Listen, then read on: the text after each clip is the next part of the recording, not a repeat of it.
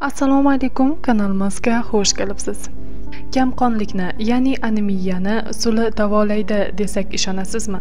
Albatta buni davolashda sulining o'rni beqiyos ekan. Ishonmaysizmi? Unda ushbu videomiz e, faqat siz uchun.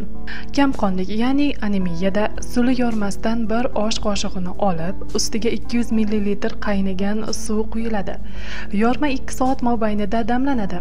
So'ngra suzilib tabga ko'ra asal qo'shiladi va 50 millilitrdan kuniga 3-4 mahal iliq holda ichiladi. Shuningdek yo'talda bir piyola sulidoni bir yarim litr sutga solinib pishguncha past olovda qaynatiladi. Mabodo qaynatish jarayonida quyuq massa hosil bo'lsa ustiga yana sut qo'shish mumkin. Tayyor bo'lgan qaynatmadan kuniga to'rt besh mahal isitib bir osh qoshiqdan qabul qilinadi. Bunga asal qo'shib ichilsa samarasi yanada yaxshi bo'ladi.